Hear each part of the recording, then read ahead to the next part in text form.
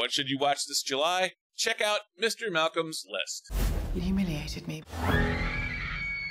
He had a list, A list of qualifications for a bride. Mr. Malcolm, to receive the comeuppance he deserves. All's fair in love and war in 19th century England as Selina Dalton turns the tables on Jeremiah Malcolm after their courtship goes south in Mr. Malcolm's list. Freida Pinto and Sope Dirisu star in the film adaptation of Suzanne Allain's novel of the same name.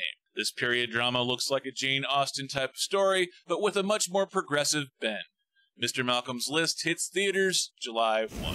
To see my entire July top 10 list, click or tap on the screen.